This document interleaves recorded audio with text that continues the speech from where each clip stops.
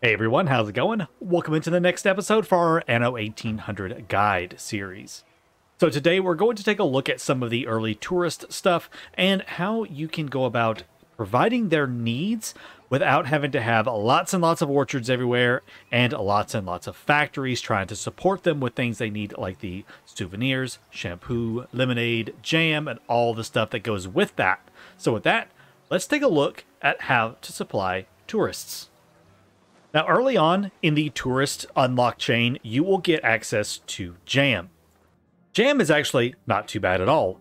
One jam orchard can supply two hotels. That's not bad at all. But you're going to need quite a few hotels.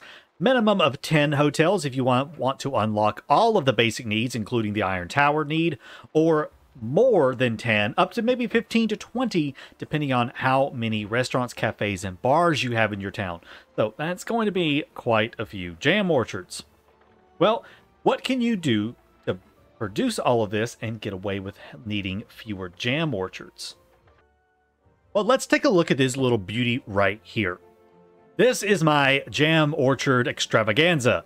This is 10 jam orchards definitely more than you'll ever need for your tourists unless you just go buck wild on tourists.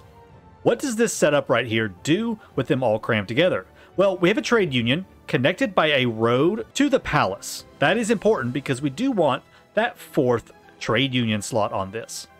So what we've got in here is the hand pollination method. This increases productivity, increases workforce and maintenance, and decreases the number of trees needed. So it increases the forest density ability on it.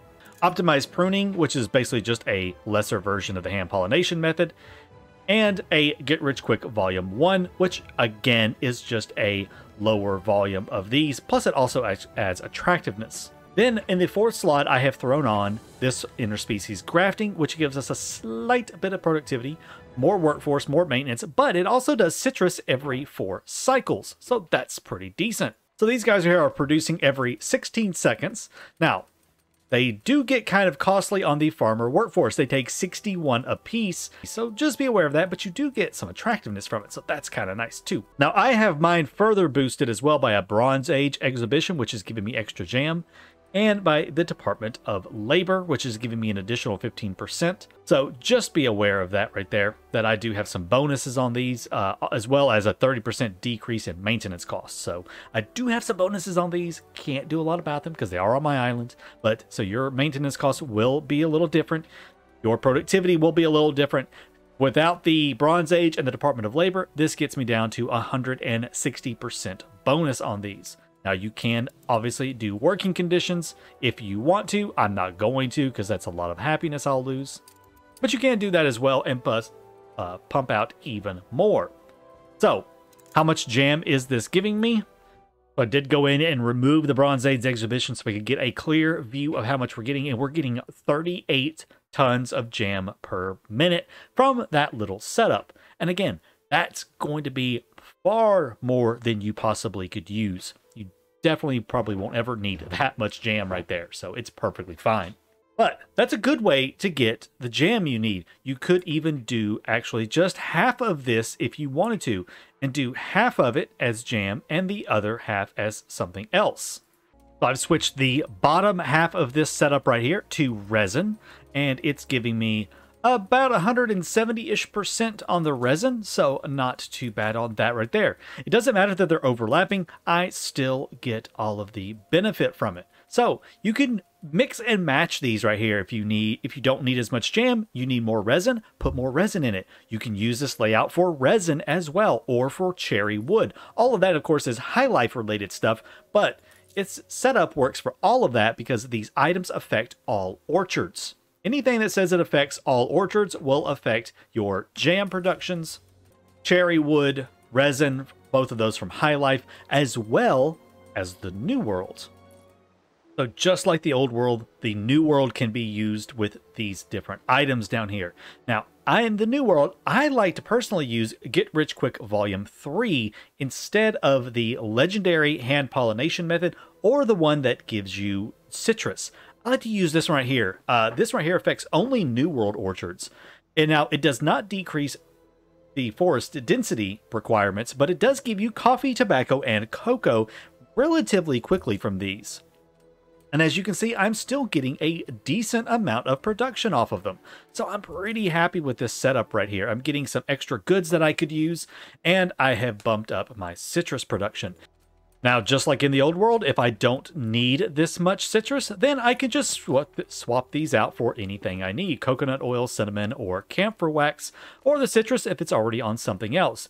You can mix and match these all you want and get a nice amount of production out of it. Again, it does take quite a bit of extra workforce, 52 arrows per building, but is a lot better than having to have these things spread out all over your island and taking up a ton of extra room. Now, let's take a look at the last three things, and that is going to be your souvenirs, your lemonade, and the shampoo. These three items right here. Now, the way these actually work is fairly simple. The one lemonade plant can actually supply two hotels. A shampoo factory, or shampoo plant rather, can support up to four hotels whereas the Poor Souvenir plant can only support one hotel. That's it. The souvenir factories are actually pretty pretty terrible. They only support single hotel, and they do take quite a little bit of extra input. You got to have two cotton plantations, a single camphor wax, and a glassmaker for each one. So, how can we go about upgrading their productivity? Well, there's only a couple of items that deal with chemical plants.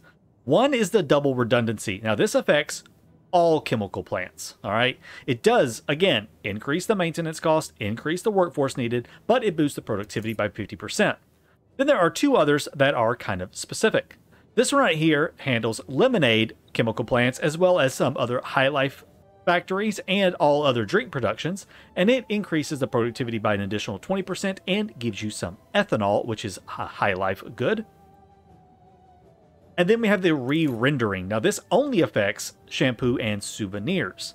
Now this also increases the productivity and it gives you additional saltpeter, tallow, and dynamite every 11 cycles, which is super slow, but hey, it's a little something. These are the only three items that affect the chemical plants for tourist season stuff. So with these right here, we can get our lemonade up to 270% as well as the shampoo. And if I had the souvenirs running, it would also be at 270%. So it's not much, honestly. Chemical plants already require electricity, so they're already at 200%, so you can boost them by an additional 70% plus 50% more if you have the working conditions increased on them. And then if you have a trade union with the local department or the palace with the Department of Labor, then you can get additional productivity from the Department of Labor base effect. Uh, as well, the Skilled Laborers Act also affects chemical plants, so you can get additional shampoo, lemonade, and souvenirs one every three cycles. So if you need even more, there's a that's another good way to get even more out of that. Try to uh, get your chemical plants within range of that trade union, of course, for the items, and then connect it up to a palace or local department with the Skilled Laborers Act uh, selected in it to get even more goods from it right there. With that, you should be able to produce more than enough of all of the goods that you need for the tourists. Now, where do all these lovely goods come from? Well, they all come from Archie. Archie sells all of the different books for season 3 except for that hand pollination method. That is a legendary, and you do need to craft that in the Institute. I believe you can also find it from Bente. She randomly gives it as a quest reward, and if you are at war with Bente, which is a terrible thing, you should be ashamed of yourself for being at war with Bente, but she can randomly drop it from her ships or on a main island takeover. So those are a couple of different ways that you can get your hands on the hand pollination method. However, the Research Institute is going to be just about your only way to get it if you don't have Bente in your game. That's just like really quick rundown of tourist season stuff and items that affect them and how you can go about using those to boost your productivity from all of your orchards and your chemical plants to get more out of them. Now, luckily, these items were added with the High Life DLC. Before then, there were no items, and you had to spam this stuff out everywhere, and it was awful. And it was a dark, dark time in productivity land. But now we have these lovely, lovely items that can easily be purchased from Archie and get that productivity boosted so you don't have to worry about it as much. That's going to be it for me today. Hope this video helped you out a little bit with some tourist related stuff and to get those items boosted and get all of that stuff producing a little bit faster for you. If you're interested in this layout right here, be sure to hop over onto my Discord server. I will have this layout pinned in the hashtag Anno Layouts channel, so you can take a look at it and use it for your own purposes. And with that, have a great rest of your day. See you later. Take care.